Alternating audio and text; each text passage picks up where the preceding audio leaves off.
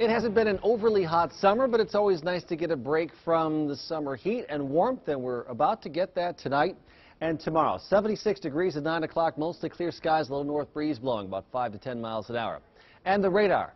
Well, it's quiet now. We had a few showers and thunderstorms around this morning, early morning, to the north of us in northeast Nebraska, and then also to the south of us. The rain was lighter on the Omaha metro. We only had two one hundredths of an inch of rain at Eppley Airfield was about two-tenths at Fremont, and heavier rains the last couple of days have fallen near the Kansas line and also across northwest Missouri. Those areas need a chance to dry out. We're probably running sprinklers in backyards around the Omaha metro.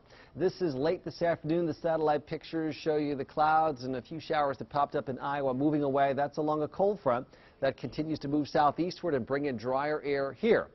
Here's a live check with our Skycam network, and there's the view to the northeast from our TV station tower. Partly cloudy skies, the Missouri River and a beautiful evening. And our temperatures will be very pleasant and comfortable at 7, 8, 9, 76 at that time, 11, 71, and early tomorrow morning, lower 60s, so you can turn the AC off.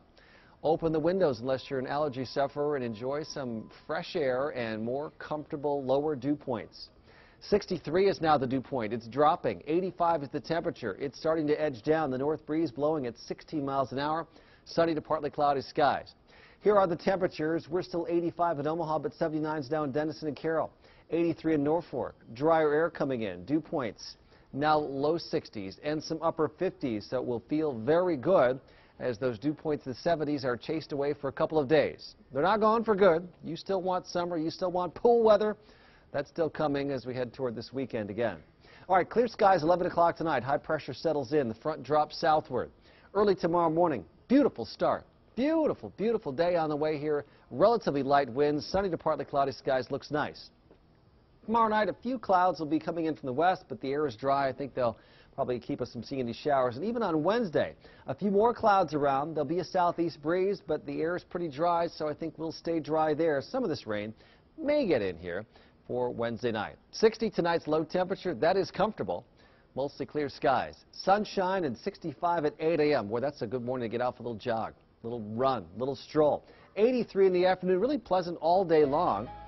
And still pretty comfortable on Wednesday, a low of 62 and a high of 84. There's at least some chance of rain Wednesday night. Thursday, a little bit more humid, warmer. And then the heat is back for Friday, Saturday, Sunday, and Monday with temperatures back up to low 90s and mainly nighttime thunderstorm chances this up.